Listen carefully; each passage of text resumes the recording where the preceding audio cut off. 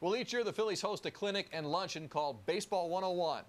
It's a great chance for more than 100 women to learn about the game they love and also receive instruction from the Phillies coaching staff.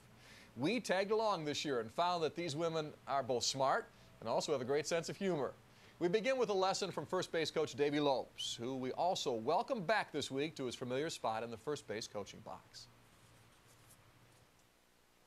If the defense doesn't make the play, by you being aggressive, you have an opportunity to take the extra base. But if you're patting yourself on the back, look at me, I just got a hit, look at my hair, whatever, I just got a nice hairdo, and I got a single. The women lucky enough to be here at Citizens Bank Park for Baseball 101 learned what it's about to be a Phillies player. And they also found out some inside information that only the coaches know. Any position player throws four seamers. Because you throw a two seamer here, the ball is going to move. If, if Jimmy Rollins is in the hole here and he's got a two seamer, this ball is going to come out and tail on him. But you will get in here and hit. So just don't be nervous. Don't be tentative. Come in here and let her, let her, let her go. And some of you are going to swing like this.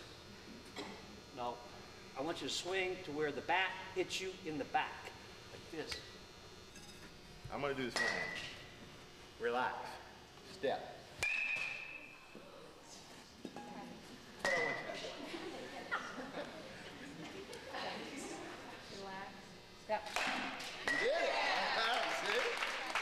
No up close and personal visit to Citizens Bank Park would be complete without a trip to the bullpen and some instruction from pitching coach Rich Dubee.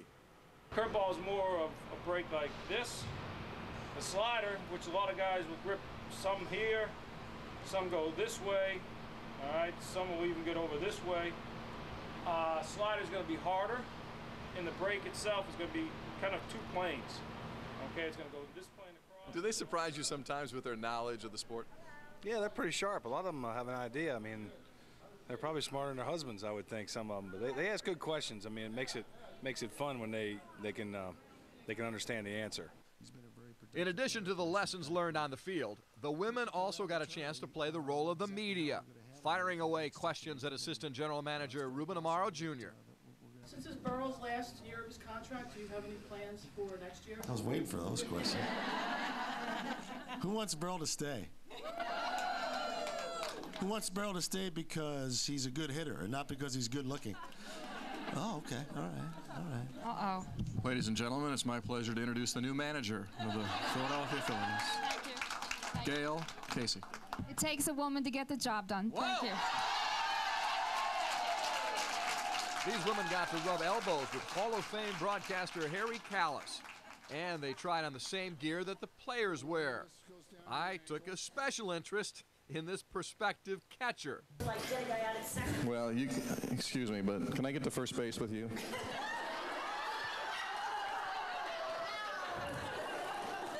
Scott. Ladies and gentlemen, please welcome my wife of the last 36 years, Kathy Palmer.